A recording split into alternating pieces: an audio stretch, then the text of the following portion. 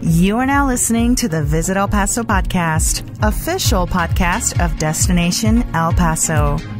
I'm your host, Christy Couture, and this is episode 12, the History Vault for April 2014.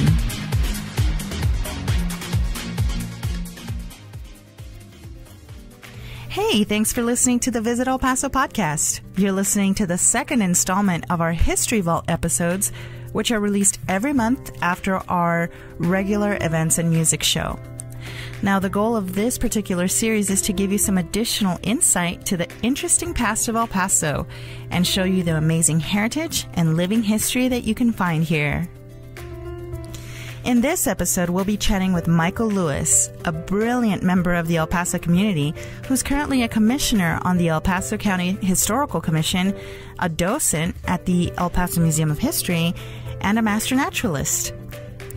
Michael will be telling us the story of the first Thanksgiving, which happened exactly 416 years ago today on April 30th, 1598.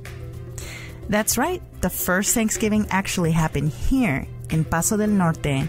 To be precise, it happened in San Elizario, and that's actually 22 years before the Pilgrims' Feast in Massachusetts.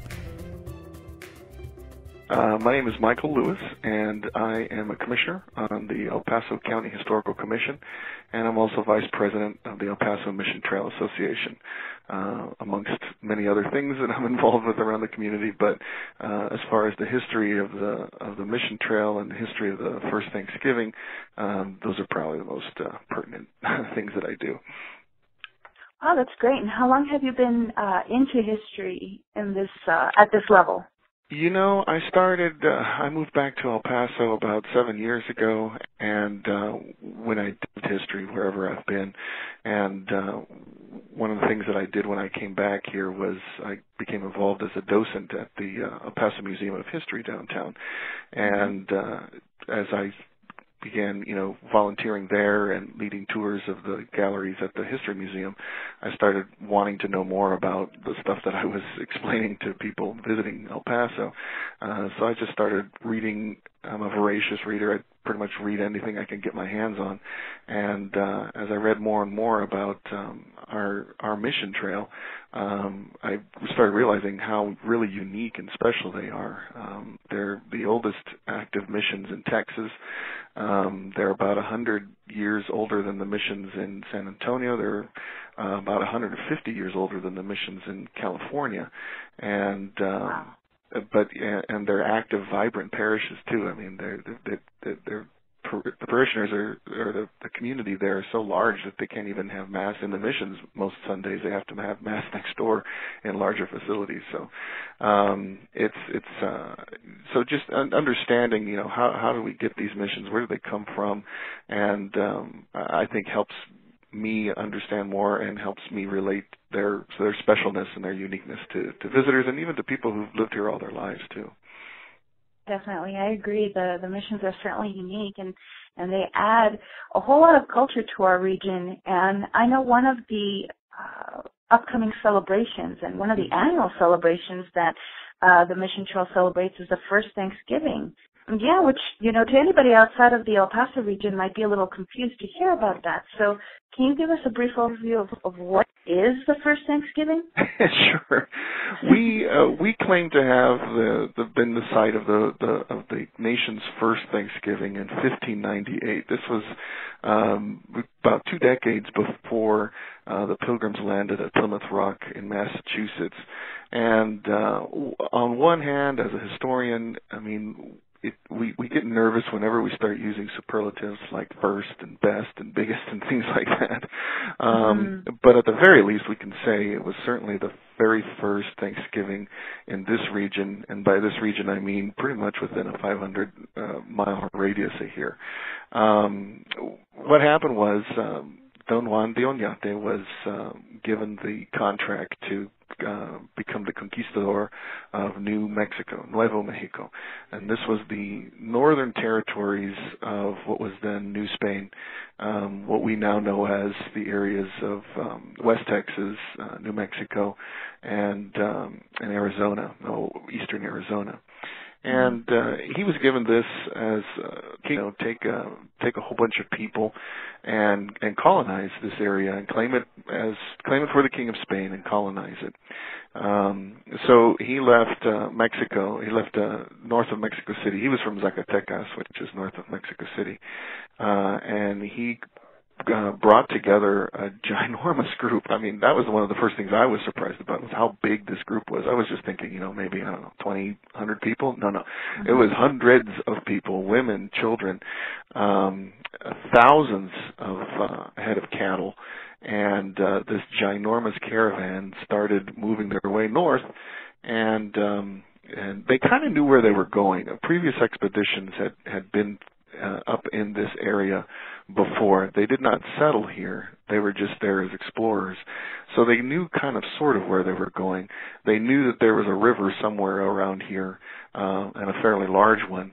So that's what they were headed for. They were headed for this river. And it was in April of, uh, of 1598. Uh, they had they were in between Chihuahua and present day uh, Ciudad Juarez, uh, south of the um, the mountains south of Juarez, uh, the Samalayuca Mountains, mm-hmm. and um, they uh, it was kind of miserable. I mean, they, they they they got rained on for like a couple of days, so they're wet. Their their their clothes are sticking to them, and uh, they're they're it's just a, not a happy scene. Um, they found some water at a couple. You know, at, at one point, you know, the the downpour was so much that they were able to that there was puddles everywhere, and they were able to let loose the livestock to to drink the water. Uh, but then they ran out of water. They ran out of, of, pools. They ran out of springs, and for several days um, they had no water except for whatever they had. And uh, all of this is described in this epic poem uh, by uh, one of Oñate's soldiers, a, a, captain by the name of Gaspar Perez de Villagra.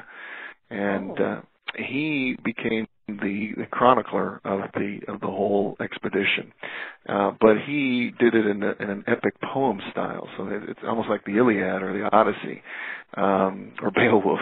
You know, so it's this kind of flowery language, and uh, and uh, I was reading it uh, this weekend, and, and just kind of like going, oh brother, you know, this guy really knows how to turn a phrase. But you know, his point was to to to romanticize this journey and to to make it sound, uh, you know, like they're they're they're what they did was you know, really noble, really royal.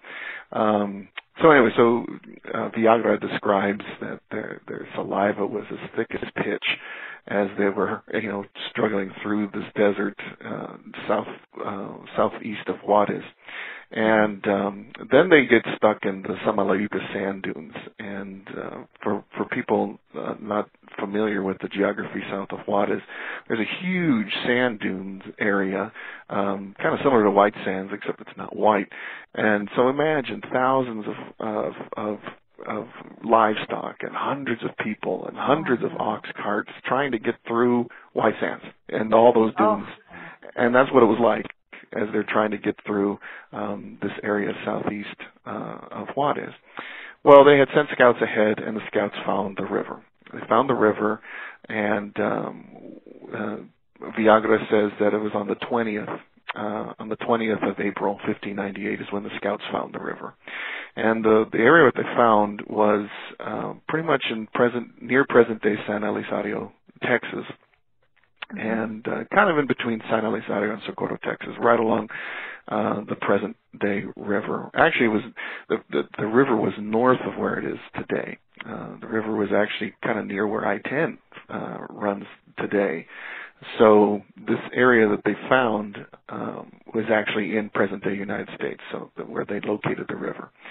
Um, the river back then was very marshy in that area of what we call now the, the Mission Valley. Um, mm-hmm. So pretty swampy, you know. It, it wasn't like it is today.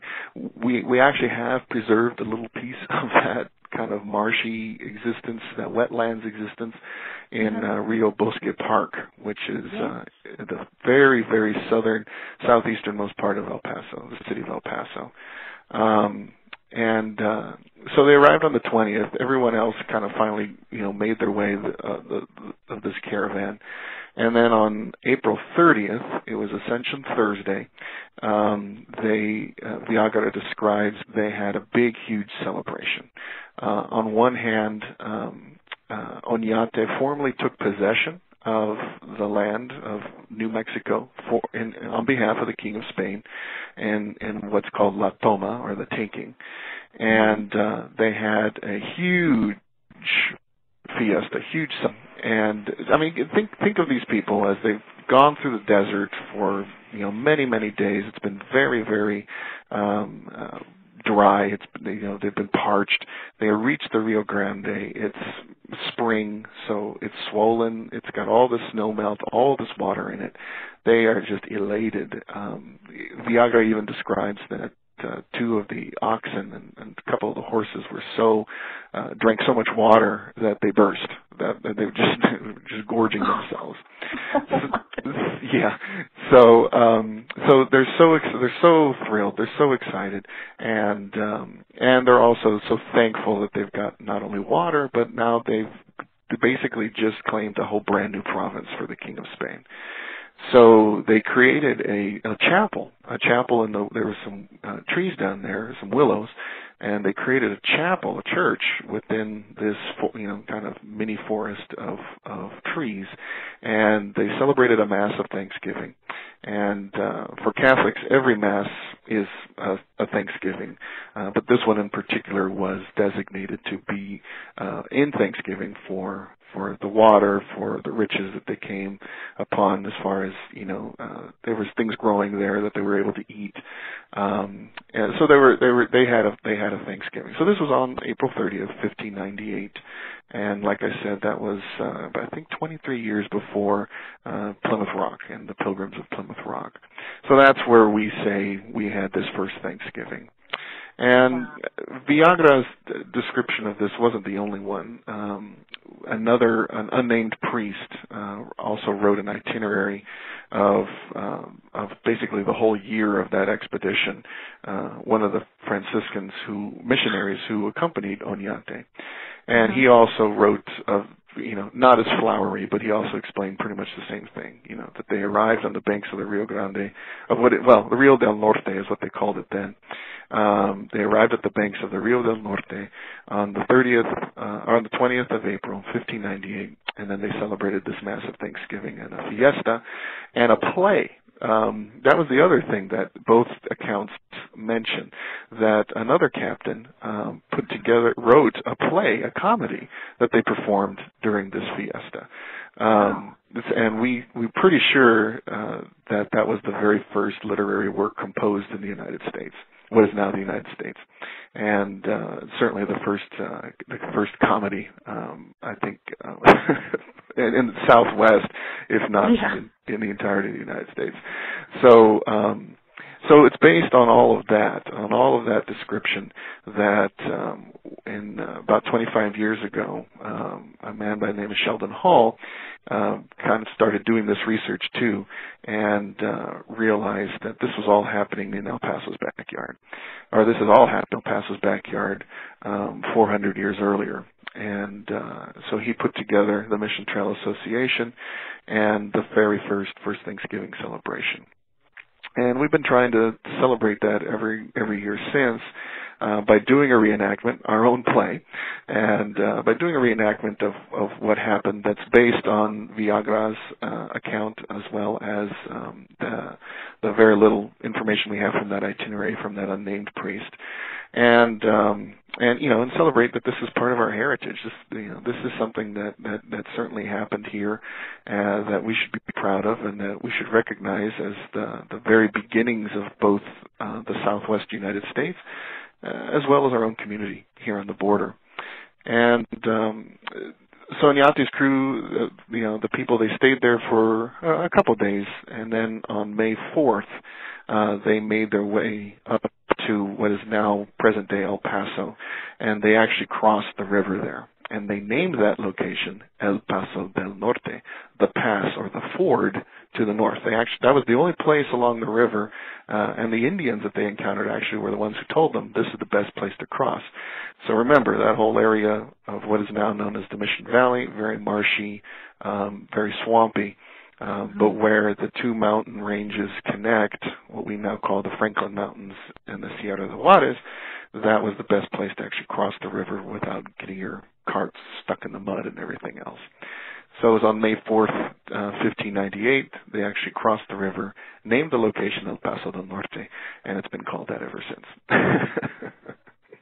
that is amazing, and it's an absolutely fantastic tale. Uh, it seems like it's well documented.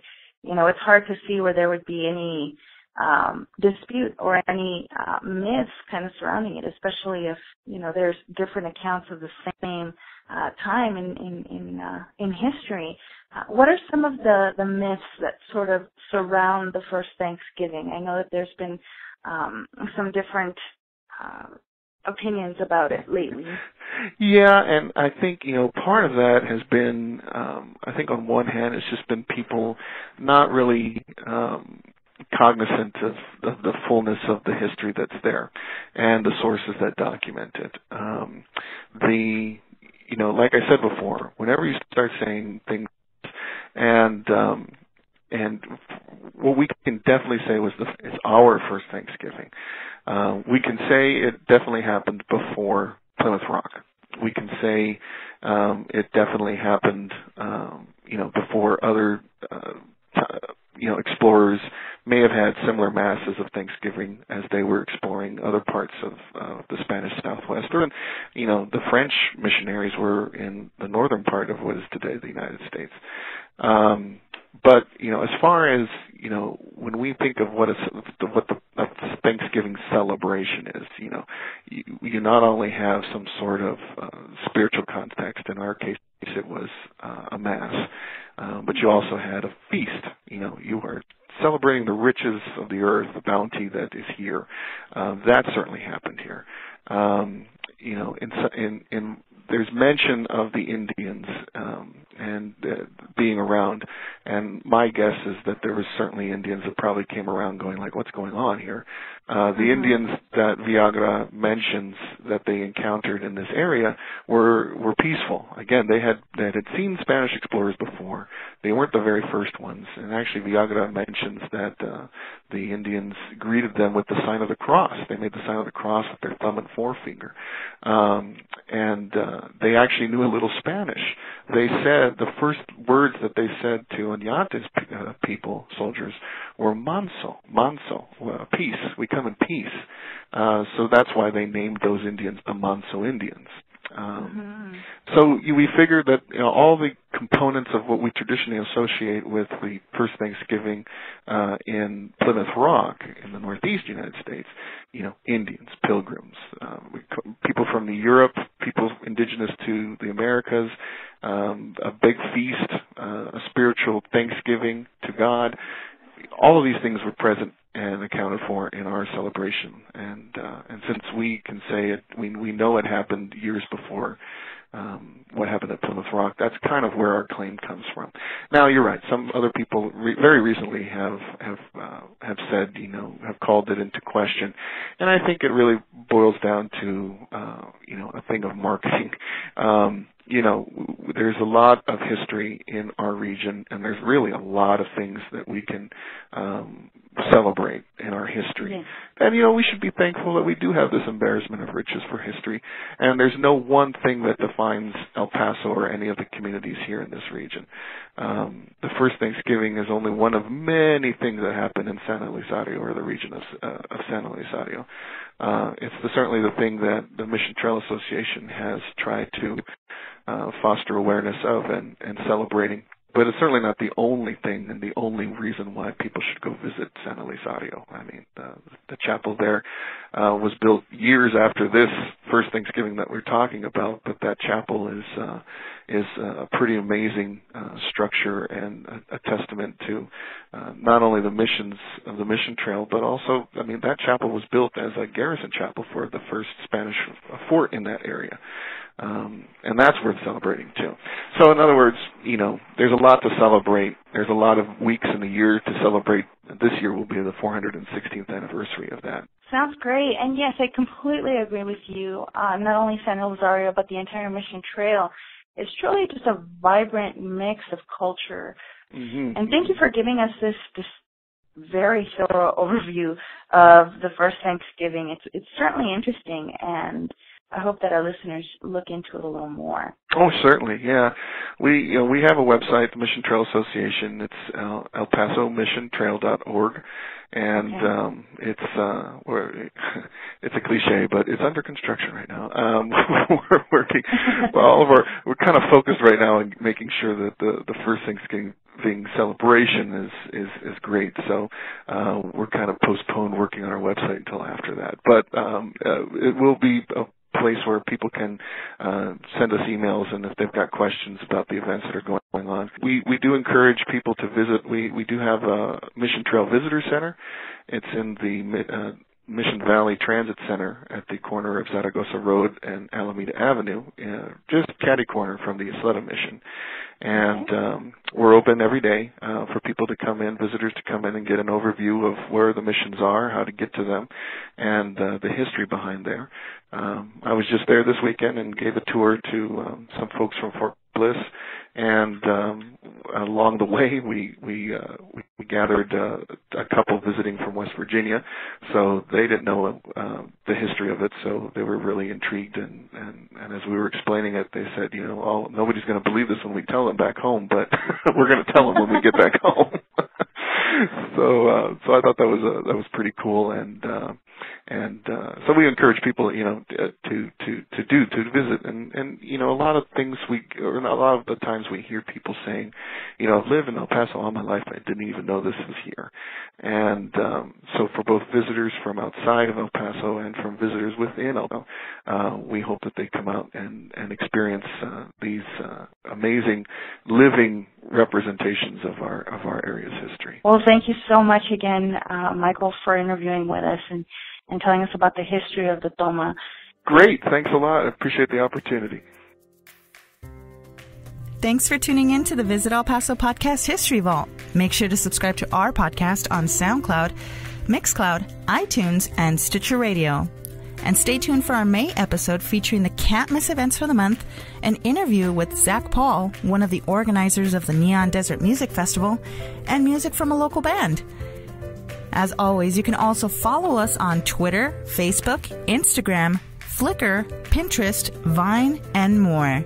Let us know what you'd like to hear about in any of our upcoming episodes by emailing me at socialmedia at destinationelpaso.com.